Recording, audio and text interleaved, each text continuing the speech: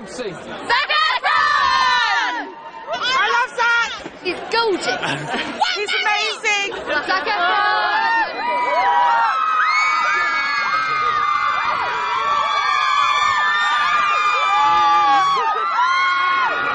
Something does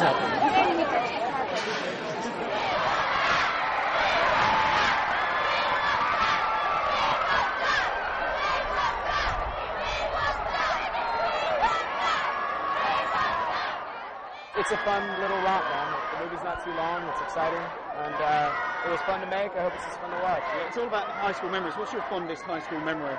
I don't know. There's a lot. High school was a weird time for me, um, but it was all right. This is a little bit more fun. Yeah, the fans are mental. Have you got a message for them? Uh, yeah, just I've got the best fans in the world. So many of them are here in London. I'm amazed that they show up like this. I've been waiting all day, and I, I hope I don't disappoint.